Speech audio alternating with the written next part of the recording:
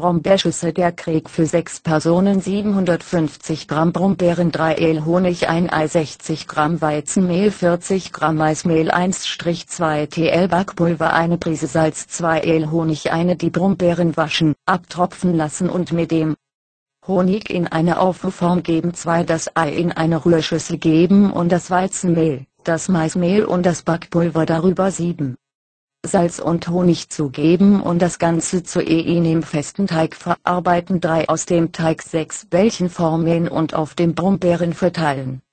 Die Aufwurfform in den kalten Backofen stellen, diesen auf 200 Grad Celsius aufheizen und den Aufruf etwa 25 Minuten backen. Beliebte Beeren im Südosten Nordamerikas, der Heimat der Krieg, ernteten die Indianer wilde Brombeeren körperweise. Wenn die Beeren reif waren, zogen ganze Familien zum Alken. Die Beeren kamen in viereckige Körbe, die jeweils zu dreien ineinander passten. Der kleinste Korb wurde an den Gürtel gehängt und in die beiden größeren, entleert. Auf dem Heimweg dann hingen die großen Körbe rechts und links am Körper und der kleinste vor der Brust. Die Beeren wurden zu Kuchen, Aufläufen, Gelee, Saft und Wein verarbeitet oder, wie andere Früchte auch, aufgestellen in der Sonne getrocknet und für den Winter eingelagert. Apfelkuchen der Paffney ergibt 6 Stück 100 Gramm weiche Butter 100 Gramm Zucker 3 Eier 100 Gramm Weizenmehl 100 Gramm Maismehl 2 TL Backpulver 2 TL Zimt 4 säuerliche Apfel, Z, Beboskop oder Granny Smith Saft von einer Zitrone etwas Butter für die Form 30 Gramm Pinienkerne ein in einer Rührschüssel die Butter und den Zucker schaumig rühren.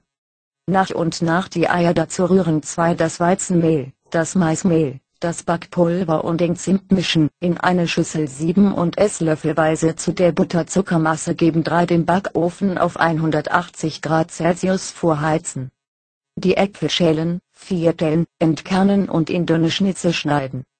Die Apfelschnitze sofort mit dem Zitronensaft begießen, gut vermischen und unter den Teig heben 4 etwas Butter in eher auf Huform schmelzen und diese damit ausfetten. Den Teig in die Form füllen, mit den Pinienkernen bestreuen und im Ofen etwa eine Stunde backen. Paffney Die Paffney hatten kahlgeschorene Schädel mit nur einer Skalplocke, die sie Pariki nannten und von der sich ihr Name ableitet. Sie lebten von der Belljagd und dem Anbau von Mais, Bohnen und Kürbis. Als ausgezeichnete Astronomen konnten sie den günstigsten Zeitpunkt für die Saat berechnen.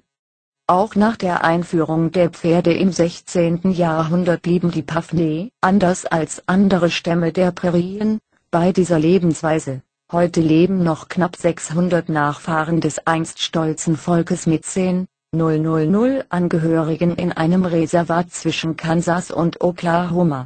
Festtagskekse für 12 Stück 100 Gramm Pinienkerne 50 Gramm Weizenmehl 50 Gramm feines Maismehl 1 TL Backpulver 80 Gramm Butter 50 Gramm Zucker ein Eigelb etwas Fett für das Blech 1, 80 Gramm Pinienkerne in einer Pfanne ohne Fettzugabe goldgelb rüsten und anschließend im Mixer oder mit dem Pürierstab pürieren. Die übrigen Pinienkerne beiseite legen 2 das Weizenmehl, das Maismehl und das Backpulver mischen und in eine Rührschüssel sieben. Die zerkleinerten Pinienkerne, die Butter, den Zucker und das Eigelb dazugeben und alles mit den Knethaken des elektrischen Handrührgeräts oder den Händen zu einem glatten Teig verarbeiten. Den Teig 15 Minuten ruhen lassen 3 den Backofen auf 200 Grad Celsius vorheizen. Den Teig in 12 Portionen teilen und zu Kugeln formen. Ein Backblech einfetten. Die Teigkugeln auf das Backblech legen, Pflicht drücken, mit den ganzen Pinienkernen garnieren und im Ofen etwa 25 Minuten backen. Backen wie in Spanien zum Backen, aber auch zum Braten, etwa von Hackbraten, benutzen die Frauen im Südwesten der USA einen sogenannten Horno, das ist ein bienenstockähnlicher Backofen, der sich außerhalb der Adobe Buildings, der Lehmhäuser, Date. Die Homos ähneln Bauten, wie es sie vor vielen hundert Jahren in Spanien gab. Sie sind aus Steinen errichtet und mit Adobe, einer Mischung aus Lehm, Sand und Stroh, verputzt. Meist verschließt ein verzinktes Eisenbleche die quadratische Öhnung.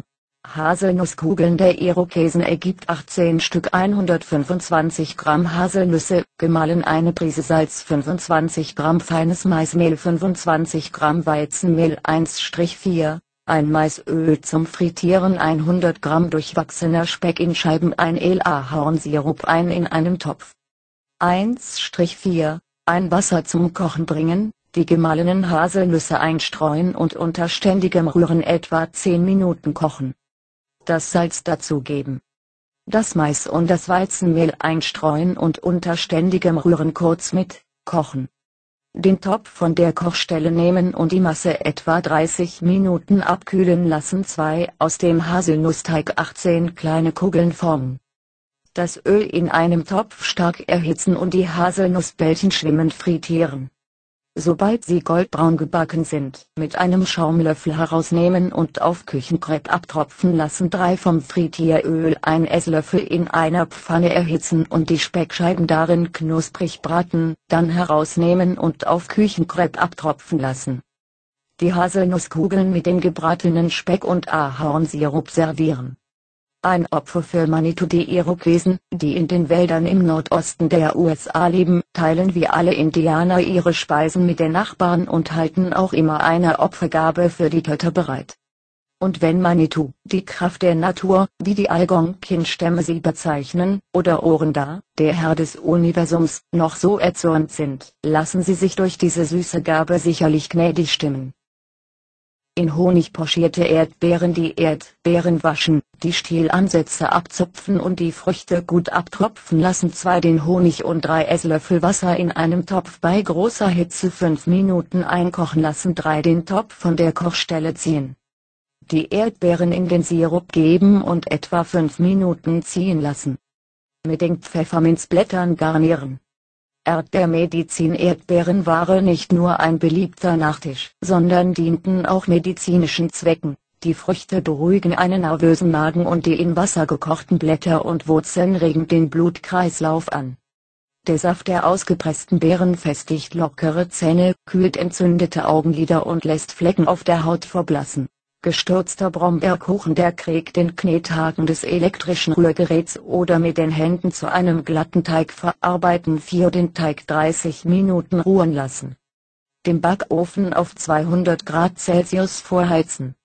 Den Teig auf die Größe der Form ausrollen und auf die Brombeeren legen und den Kuchen im Ofen etwa 35 Minuten backen 5 den Kuchen in der Form abkühlen lassen, dann eine Kuchenplatte auf die Form legen, das Ganze wenden und den Kuchen so auf die Kuchenplatte stürzen.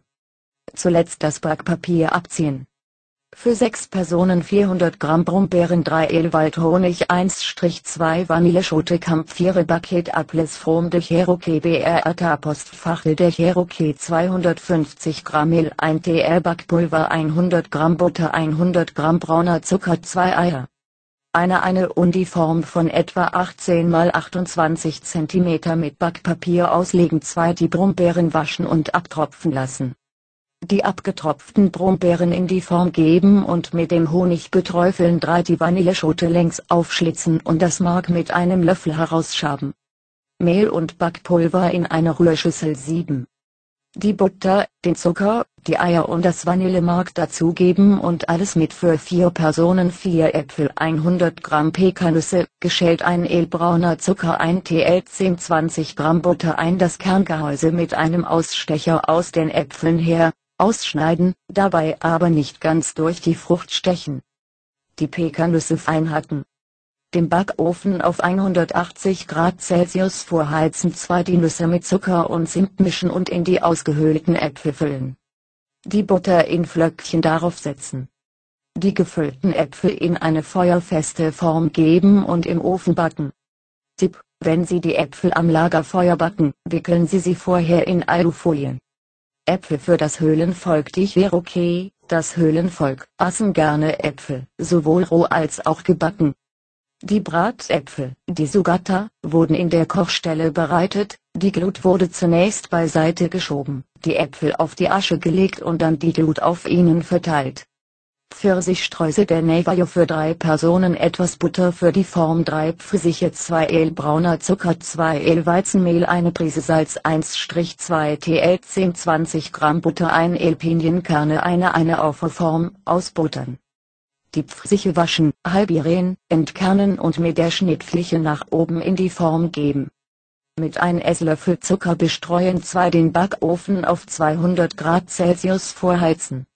Aus dem Weizenmehl, dem restlichen Zucker, dem Salz, dem Zimt und der Butter einen festen Teig kneten und die Pfirsichhälften damit füllen. Mit Pinienkernen bestreuen und im Backofen etwa 25 Minuten backen.